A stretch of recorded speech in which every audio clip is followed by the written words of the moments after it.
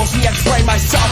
I gotta find myself, return to myself, lift myself up, make myself greater. Try to type of